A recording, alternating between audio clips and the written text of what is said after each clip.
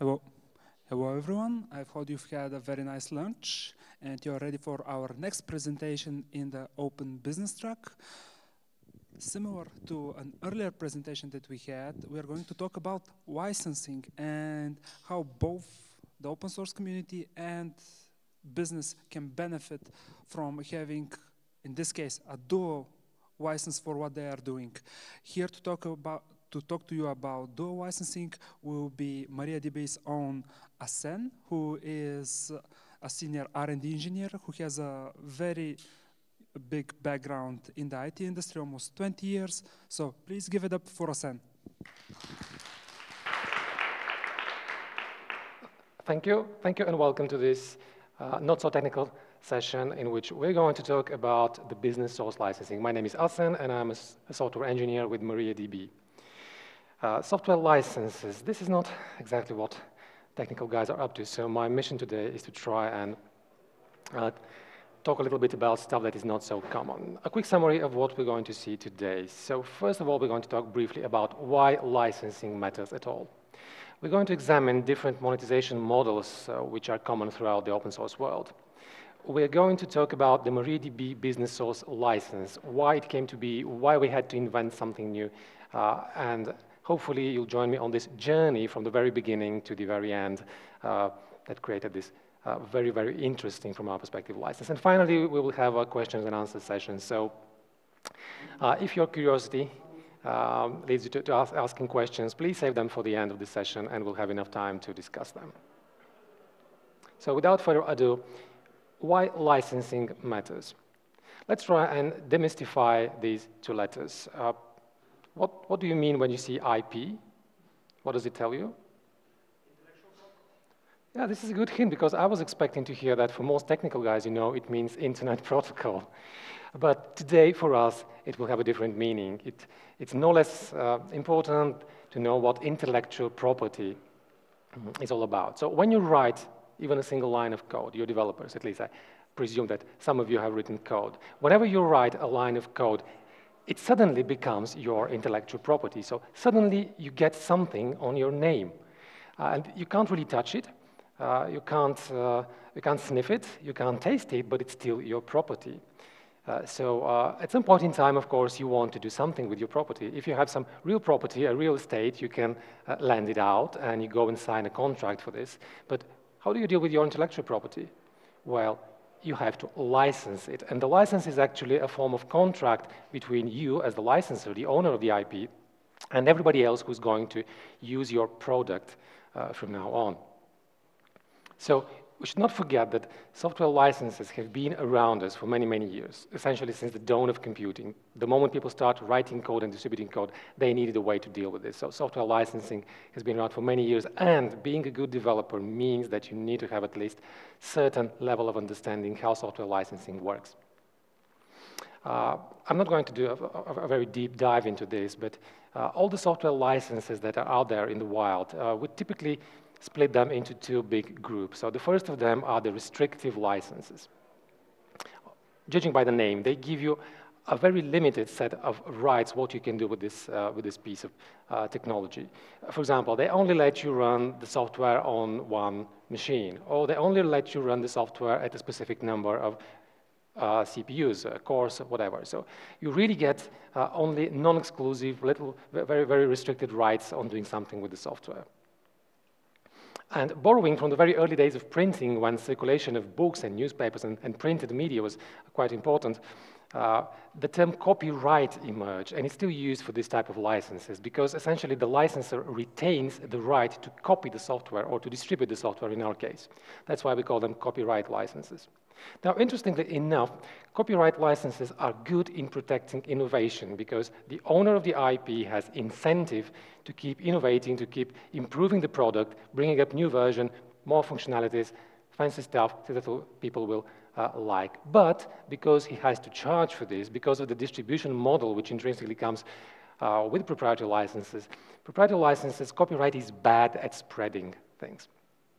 At the opposite end of the spectrum, of course, we have a big and uh, a big set of licenses which is probably familiar to you, the permissive licenses. So uh, judging by their name, of course, they give you the freedom to use, to modify, to distribute the software to different degrees depending on the actual license that uh, you face. And because they are some, somewhat opposite, and because they waive certain rights, we often call them copyleft licenses, which is a very nice uh, play of words, of course, because not only left is the opposite of right, but also because certain rights have been left to you so that you may uh, benefit from them. Uh, now, quite opposite to, to, the previous, copyleft is very good at spreading uh, software in our case, but whatever it's licensed under copyleft because, well, it's essentially free to use. But copyleft is surprisingly bad at protecting uh, the intellectual property because since you start giving away your code for free, anybody can take it and can do more or less everything that he wants to, depending on the exact license that you have put there. So this essentially uh, removes your incentive to, to do a lot of things there. Uh, a very quick word on the, on the GPL, the GNU General Public License, which is quite familiar to all of you, uh, no doubt. It has been around for decades and is often wrongly, wrongly considered to be uh, the same thing as open source. But of course, open source is much more than just um, GPL. Uh, GPL proclaims uh, certain freedoms, the four main freedoms of GPL. You should also be familiar with these. So you can freely use the software, you can freely uh, get the code for the software, you can modify this, so this is very, very important. And of course, you can uh, distribute the modifications that you make um, to other people. So all in all, GPL seems to be a, a, very, a very nice uh, thing. Uh, other important thing about GPL is that it mandates the retention of the license. So if you get the GPL piece of something, you cannot change the license to something else. And this is actually a key in protecting GPL. It protects itself from you know, evil people who are going to take something which is GPL and convert it into something that would be not GPL. Uh, another important aspect of GPL, which is important for the business, is that any modification that you make to a GPL product uh, still have to be GPL because whenever you create a derived product, this is a term which GPL uses, when you create a derived product, it has to be under the same license. So if you just modify the code mm, uh, of a GPL program, it still uh, remains GPL. If you even link something to a GPL program, then this something, your library perhaps, also has to be GPL. This is because a derived work is created and GPL mandates that all the derived work stays under GPL. For the latter, there's actually an exception, which is called uh, the library or the lesser GPL license, which specifically exempts linking of third parties uh, products to GPL from being getting tainted by the GPL. So in this case, you could have a proprietary library being uh, used in a, in a, GPL product without actually uh, tainting this uh, proprietary library, and the opposite, of course, using open source libraries in a proprietary product without tainting the product. But nevertheless, despite the fact that GPL is a great license and it has done a lot for um, the open source community. It possesses a problem to the business. Imagine if all the software was under GPL, everybody would be free to use it. So, isn't this great? Don't we all love free beer? Yes, we do, but surprisingly, a huge percentage of the open source software projects fail and this number stays almost the same throughout the years. So this is a, a, study from 2013, but if you take a recent one, it will, it will show essentially the same number. Four-fifths of all the open source projects die within uh, two years of their creation. So let's look again at the business problem that we have with GPL. Now, because you developers, you need pizza, you need Coke, you need laptops to work on, uh, sometimes you want to travel to OpenFest, for example, GPL cannot, out of the box, give you this. Ultimately, this leads to an interesting paradox, meaning that open source software tend to be inferior to uh, proprietary software because you only get uh, university students, uh, graduates working, uh, enthusiasts working on, on, purely open source software. Uh, while, uh, of course, the moment they leave the university, the moment they have to start making money, get families, you know, they cannot sustain themselves any longer on just pure open source products. This means that we need to somehow resolve the conflict. We need to find a way to monetize on free software, but without hurting its freedom. And this turned out to be a surprisingly tricky business. Let's take a quick look at monetization and, and open source. You know, ancient Greeks uh, said that it is the dose which defines the, po the poison. So it's not the poison itself. It just it matters how, how much you take in. So the same goes exactly with, with monetization. Uh, we have defined three important things about monetization uh, and open source. So the first thing is try to keep the open nature of the software as much as possible, even if you have to monetize on this. You know, the second thing is monetize only as much as you have to. And to have to means to sustain your business. So don't be greedy. Greediness is a cardinal sin. Don't fall for it.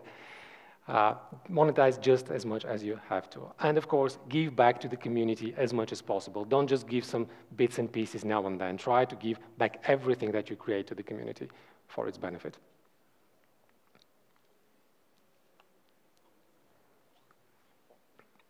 So when we embarked on this, on this relatively long journey, we started looking at what monetization models are available. Of course, we wanted to take something that already exists and use it in our business. Nobody wants to spend time and effort creating something new if you can reuse something that has been around. Uh, what we found was that uh, there are a number of monetization models on the, on the, on the market, if you want, uh, but each of them has a problem. And the major problem is that each of these models would somehow break at least one of these three important things which I mentioned on the previous slide. Uh, if we now look at uh, what is still available, what, what we studied as, as a possible approach to, to monetization. Number one, something that you've all seen around, uh, no big deal, of course, no brainer, selling support services to, to an open source. So it's very easy to do, everybody can do it. You don't really have to be a big company for this. Uh, it's pretty natural for, for a startup or just a couple of people to start selling support services. Uh, and uh, actually, it's still one of the most common approaches to monetization. So there's nothing bad about it. Uh, a, lot of, a lot of companies do it. But there's a but. Uh, this type of monetization does not create uh, a drive for innovation. Why? Because pretty often, the company which sells the support services is not the company which creates the product. It's just an open source product that you found somewhere, you got yourself trained in, in using it, you suddenly realize that certain businesses uh, could benefit from your support because it's a kind of a geeky, techy product that nobody uh, really wants to, to go deep into, and you start selling support services, but you're not the developers for this product. So obviously your drive, your, your, incentive to innovate is relatively little. What you really want is just to be able to sell your services. The second downside of uh, just selling services is that this leaves your business vulnerable to competition. Why? Because the competition may just come in and say, hey, these guys are doing uh, fine, they're making some nice money, why don't we do the same? Uh, we are better trained, we have more people, we can try and sell at slightly lower prices so that we would undermine their business, undercut their prices, uh, try to steal their customers, uh, and eventually we'll thrive ourselves. So this leaves your business vulnerable. And there's at least one prominent example from, from the, about 10 years ago, and it's still around. This is Oracle versus Red Hat. Red Hat has been around for over 25 years now, and in the, in the early 2000s, they created the enterprise Linux, and they started selling support subscriptions for this. And in 2006, Oracle came in and said, hey, why don't we do the same? They just took the Red Hat sources, they brought up something they called unbreakable Linux, and it's still around. So, of course, this leaves a business vulnerable to this kind of exploit. Another model for monetization that you may find around is the model of the open core. This means that only part of the product is, is open source. Typically, this is the core functionality of something, so the very basic things, uh, the nucleus of this product, while everything else, uh, some extensions, uh, plugins, in most cases, important to business functionality stays uh, closed source, and you have to pay some sort of a fee, royalty, subscriptions, whatever you, uh, the license mandates. The problem with this uh, that you can easily identify is that pretty hard to find good balance between what is in the open core and what is in the proprietary part. Because if you put too much in the open core, then, well, everybody would be happy just running your open core, and you will get very few customers willing to pay for the extended functionality. So this would be bad for your business. The opposite is also bad for your business, because if you mm, leave in the open core too little, then people will find it very hard to actually try and understand how they can benefit from your product. This means that there will be very, very few adopters, and your business will once again struggle to find um, good, good adoption. Uh, also, a bad thing with the open core is that nothing really is shared back with the community because you know you only have the open core, which is fine, but the, the, the neat stuff, uh, the goodies, what the business really like, it, it can never go back to the community because you have to keep it proprietary to make your model uh, work for you. And another downside is that a competition may still go after you. They may still put your business at risk. How? By forking your open core because it's open and then providing replacements for your proprietary components, either for free or for a very reduced price so that your business would eventually struggle with this. And again, there is a very good recent example for this. Elasticsearch has been for many years known as one of the champions of open core and a company which was supposed to do well under the open core model. But recently, uh, Amazon said, okay, um, we want to have Elasticsearch, but we also want to have the extended functionality, but we don't want to pay Elasticsearch for this. So what they did, they just forked the core and they rewrote all the extended functionality, and now it's released by them as, as open source product, which is a huge blow, of course, on Elasticsearch. A third model that we examined uh, while looking for a good business model for open source was dual licensing. It's also been around for many years. Lots of products have been dual licensed. Uh, but the thing here, here is that uh, you really can only use a semi-open license uh, as your first licensing because uh, then you have to ask for a commercial license if you want to have some full-scale commercial operations on this. And the problem is there is a conflict between these two. Uh, you, you, can easily see. And hypocrisy is the least thing that you can be accused of if you dual license a product. But there are even bigger problems with this. Uh, because you can't really have a true open source license as your first license, because, well, then everybody would just fork the product, take it away from you. So you have to stick to some semi-open license, quasi-open license that is uh, barely open just to, you know, that you would say that, hey, we're dual licensing, uh, but in fact, you're not really bringing back to, to the community whatever it deserves. And a good example for this was uh, the ZFS from Solaris, which struggled for many, many years to find a good adoption. Uh, it was dual license, but its uh, open or, or semi-open part was, was not a truly open source license, and it never got adoption, for example, uh, in its original form in the Linux world. Speaking of uh, quasi-open licenses, an interesting thing that we spotted re uh, recently in the past year, and it's probably worth a quick, a quick note. It's the, it's the approach of replacing a truly open source license with a custom one that is probably not an open source license. Uh, why does it happen? Because certain companies got fed up with their own open source stuff being exploited by bigger uh, market players who would just take the software, provide it as a service, benefit for this, and then give nothing back to the original um, vendors. We call this strip mining. Uh, and uh, one way they found to, to combat this is to actually change the license of their products. Now, the problem this, of course, is that the new license is no longer an open source license. Uh, so you go, to, you go to OSI, the Open Source Initiative, you go to the Free Software Foundation, uh, which are the, the two biggest authorities that we have on open source, and they will both tell you that this is no longer an open source license which means that the innovations that you make from this point on cannot be shared back with the community. This is a big problem. But it also means that truly open source vendor will start avoiding your product. Uh, for example, Linux distributions will stop including your software if they did before because it's no longer open source. They have no uh, incentive, and some of them really dislike putting anything that is not uh, open source in their uh, uh, bundles, in their distributions, in their products. So there's another pain point for you. And it still leaves the product vulnerable to being forked from its last known open source version uh, in a, such a survival race uh, that could be imposed on you by these bigger players, which are typically nowadays cloud vendors. Uh, and one such example is MongoDB, which changed its license from being an open source license to some proprietary license which they invented. And nowadays in Red Hat Enterprise Linux 8, there is no longer MongoDB because it's no longer open source. Uh, but MongoDB is still vulnerable to these cloud vendors just forking the, the last known open source version and uh, starting improving this one. And uh, one last model that we, that we uh, mm, uh, researched and uh, found to be, well, at least well known, if not widely used, was the fair source license. Now, first of all, the fair source license is not an open source license, this should be known. The source code for this is visible, you can get it, but it's mostly window shopping, so you can't really do what you would normally do with the source code of an open source project. Uh, its uh, usage is usually restricted on base of uh, related to the users. So how many users can use the software for free, when you need to, to get some other type of license typically paid, and so on. Again, nothing is truly given back to the community because the source is not truly open. And uh, the, another downside is that uh, it has limited usability. So if you have a mobile application, this could probably work for this. But if you're doing a, a database, if you're doing backend uh, uh, development this is probably not going to work for this. So uh, its usability could be quite limited. And finally, this is not a good thing uh, whatsoever. Other even prominent products like QMail have been under similar license for many years. So you could get the source code, but you could not touch the source code. You could not redistribute the source code with modifications and so on. So after doing all these review, we came to the question, is there really an intrinsic conflict between being open source and living on this by monetizing on it?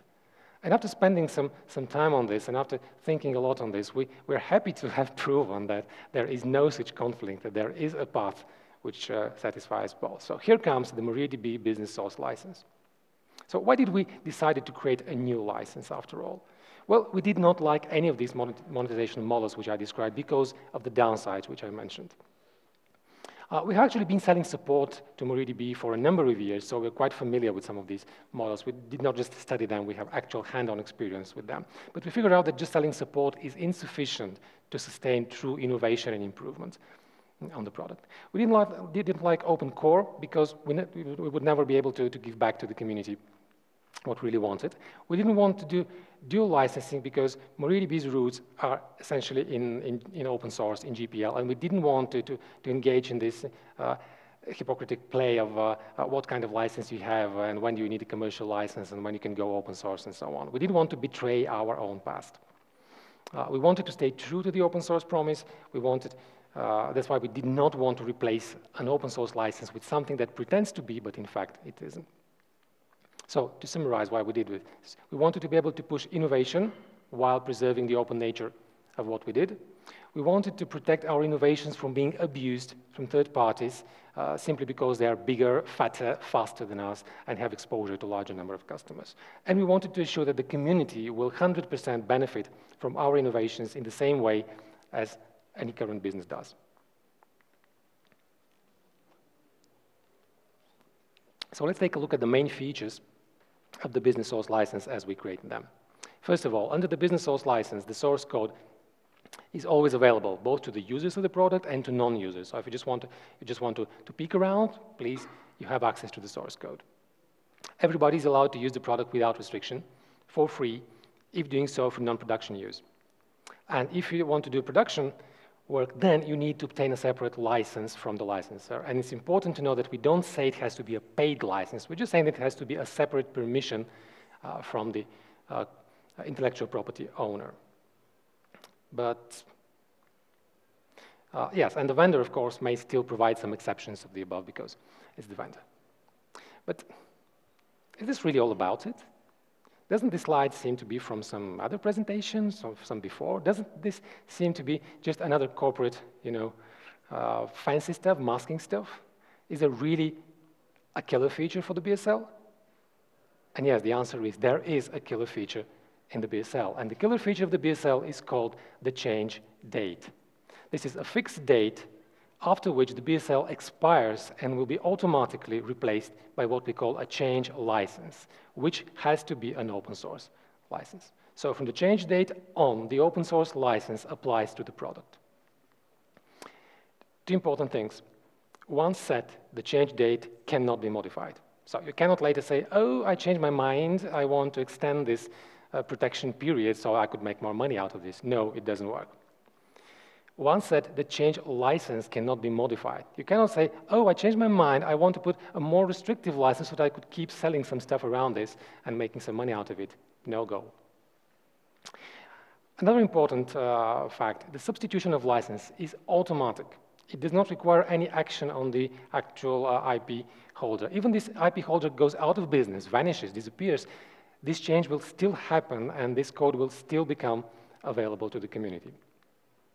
So how do we compare business source license to other monetization models? Let's do a quick uh, round on this. Uh, open core versus uh, business source licensing. Open core, as we said, is not open despite its name, while for BSL, the source code completely, in its, in its entirety, is available to everybody. In open core, you don't have access to the source. You cannot contribute to this. In BSL, you have the source code, and your contributions are welcome and encouraged. OpenCore, it provides you essentially the same level of vendor lock-in because you, you normally lock in there because of the extended features which are not free. BSL, BSL guarantees you that the code will become open source, and open source means you're free from any kind of vendor lock-in.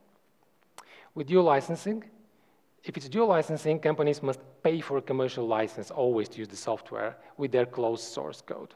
While in BSL, companies only pay uh, for the software if they use it above certain thresholds that are defined by the vendor, not by the license. In dual licensing, GPL only could work if you, if you have some uh, cryptic infrastructure stuff which is buried deep into the commercial product. Otherwise, GPL cannot be used as a, as a second license in dual licensing. While with BSL, BSL works for any kind of software. And uh, BSL versus fair source licensing, well, in fair source licensing, you have usage limitation based on the number uh, of users, while uh, BSL just lets you make uh, more generic uh, restrictions, so it's up to the vendor to define these restrictions. And fair source licensing says that, well, we try to limit the number of, of users, but try limiting the number of users of, of a database. Come on, it's, it's a very niche license that does not, only, does not always work for any kind of product, while with BSL you have a guarantee that the source will become open mm, after a certain amount of time. Cool. Let's now examine the fine print. What's actually inside the license? What makes it so unique from our perspective? Uh, first of all, a few, a few details on the change date. So the change date cannot be just any date. The change date is restricted to be within four years since the initial release. So you can select a shorter period, but never a longer period. So you cannot just say, okay, it will be 99 years and it will become free software after 99 years. Who, who is going to care about this software in 99 years? That's why we put a hard restriction in the license and you cannot modify it. If you decide to use BSL, you can set the term to no longer than four years. Uh, as I mentioned, once set the change date is fixed, it, it, cannot be altered. So from the very beginning, when you see something licensed under BSL, you know the date is going to become uh, open source. Uh, the initial release, which triggers this timeline does not have to be a GA release. You don't have to, to make it you know, general, generally available. Any, anything that goes public uh, is sufficient. So it could be a nightly build, it can be an alpha, a beta, an RC, whatever you want. Uh, as long as it's public, this is the starting date for this one, two, three, four years, whatever you say, is good for your license. Uh, important thing on the change date, if you do a major release or do a new release with lots of new functionality, it will, of course, restart the BSL period, but only on the new stuff that you just added into this release. So the, the previous version will still stay under its old timeline, uh, but the new things that you added will get a new BSL term available. A uh, few things on the change license. So the new license that is going to replace BSL. The most important thing, the new license must be an open source. You cannot cheat here. You cannot say you're going to put some other type of license. It has to be an open source license, and not just an open source license. Uh, it has to be at least GPL. The thing is, you can have more than one license if you want, but then again, one of them must be GPL. Uh, the decision whether to have more than one license is, of course, left to the licensor. So you can say, okay, I'm just happy it will become GPL, I don't care about it. But you can say, okay, I prefer to have it uh, also available under BSD license or something more permissive than GPL so that other businesses could pick up the code and uh, benefit from it in, in other ways.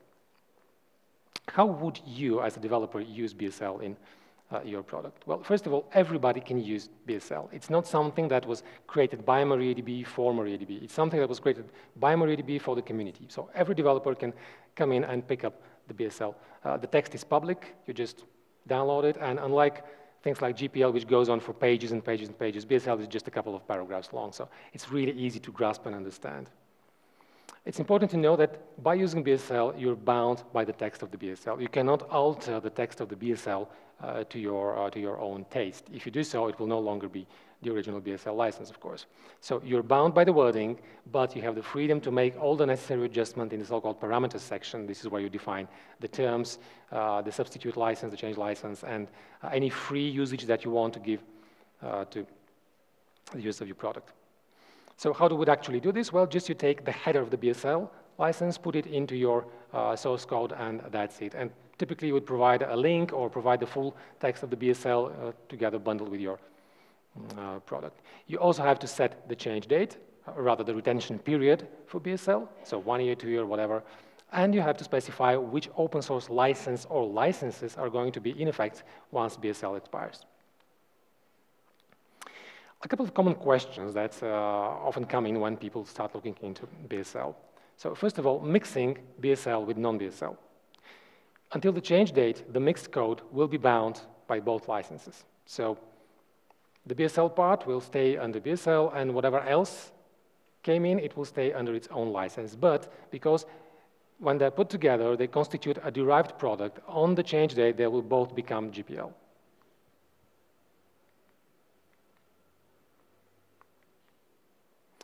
Uh, modified code, as I said, uh, is a derivative work. BSL product can be used to develop products under different license. So if you have a development environment, which is BSL itself, it doesn't mean that the products that you develop with this environment are going to be BSL. No, you can, you can use whatever license you want as long as you don't borrow components that are distributed under uh, BSL. And one thing to know, of course, is that BSL and GPL are not compatible because BSL has the change date and BSL has a use limitation, uh, and this is not compatible with uh, GPL. If you want to contribute to a BSL product, well, simply license your code to the vendor under the three-clause BSD license. This will allow the vendor to incorporate the code uh, either by replacing the license with the BSL or simply by keeping it under the BSD license until the change date when it will become GPL plus whatever else open source license is specified. Finally, backporting uh, from a newer version to older versions of BSL is not possible. You have to know about this because the newer version will probably have some new features, meaning new code, and this new code will have a new change date. So we can't backport things with a later change date to, uh, to a version that has uh, a more recent change date. And since you probably want to see a real-life example on this, I'm going to quickly show you how we use BSL in MariaDB for our own products. First of all, we use this for, for software that we write ourselves. So we don't just take some third-party software, do some things with this, and, and, release it. It's mostly for the products that we do from ground up. We don't like mixing in different licenses, different uh, origins um, of code. In MariaDB, we apply GPL version 2 or later as a change license. So we guarantee that whatever we have in the BSL, uh, whenever the change date comes, it will become GPL version 2, or later if you prefer a later version uh, of GPL. We also use only a three-year retention period for the change date. So uh, it's not the, allow, the complete allowed for the full term of four years that is under the, the, BSL, but we only use three years for this. So three years after the, the initial release, code becomes open source. A few products that we, that we uh, release uh, under BSL to give you the sense of how this works with bigger products and how it works with smaller products. Uh, for example, with bigger products, we use, Meridian, uh, we use BSL for the MariaDB Max Scale. If you have never heard of this, MaxScale is quite a versatile, modular uh, load balancer, reverse proxy, orchestrator for the MariaDB environments. So it's, it's actually a flagship product for MariaDB orchestration and management. Uh, and you can use MaxScale in production, so MariaDB says, with up to two MariaDB server nodes behind it without the needing to, to pay anything. So this is a good example that you can have BSL and you can still provide uh, production use uh, up to a certain extent without uh, the need to pay, contrary to what you have in uh, dual licensing and other models. Another very interesting uh, case. Now, if you want to exceed this limit of two servers, uh, then you need your actual backend service to be covered by a MariaDB subscription, which subscription bundles MaxScale free for you. So you still don't have to pay anything for the MaxScale product itself. You only have to get subscription, support subscription for your backend servers if their number set by MaxScale is more than two, which is uh, the free usage. So a very good example that uh, in certain cases you can, you can still make money through BSL without actually charging anything for the product itself. Um, as I mentioned, it can also be used for smaller stuff. So, for example, we use BSL for little products like a change data capture adapter or Kafka data streaming adapter, or uh, these, these are both MaxScale stuff, or a backup and restore tool for ColumnStore, which is uh, another product by MariaDB for analytics. These are all are relatively small add-ons for max uh, scale or for ColumnStore, and they can only make sense uh, uh, together with the main product. So you can't really make any use of them uh, if you just got them. That's why we don't have free usage for them, because you know, you need a bigger product uh, for them anyway. Uh, so you need to obtain a license for this, even if you uh, don't have to pay a license for the bigger product. And this is an interesting case. So you can actually mix BSL and non-BSL stuff. An example, ColumnStore is GPL. You don't have to pay for using ColumnStore whatsoever. But if you want to use the backup and restore tool for ColumnStore, and you want to use a recent version of this backup and restore tool, then you have to get uh, a BSL a license for this.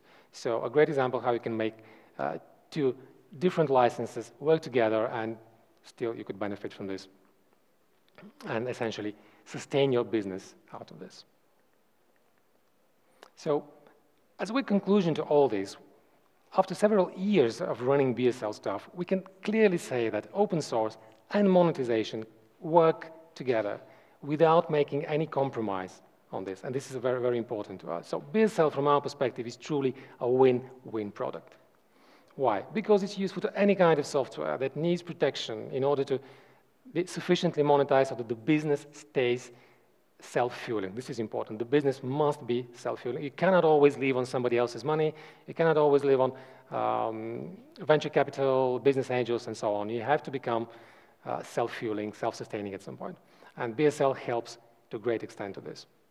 It provides enough flexibility to any vendor to combine and set terms within its ecosystem up to its own taste and view on its own business. So it doesn't put uh, too much restrictions. It gives the flexibility. Uh, as you saw, you could use BSL in different terms for different products that you have mm, and tailor it up to your uh, needs and up to your use cases. And finally, it gives firm guarantees to the end user that whatever is under BSL would eventually, in a known date, in a known moment in time, become free software under at least the GPL license, which again means that everything that you innovate would go back to the community, and the community will be able to learn from your experience and benefit from your experience. Uh, and we think this is, this is very important, and this actually helps us keep uh, our stuff true to the open source promise. That was it.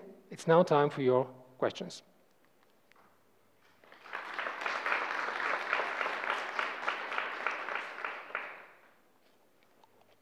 Questions from the audience? Anyone have any? What's the license for the uh, MariaDB Enterprise server? Uh, MariaDB Enterprise server is GPL because MariaDB Enterprise server is a derivative work of the MariaDB uh, server itself, uh, so it's licensed to GPL, but there are certain differences in the packaging and in the features which are uh, compiled, built in, in the binaries that we produce, and also certain differences uh, in the quality assurance process that we apply to these enterprise builds. But the product is still GPL. Any, any other questions?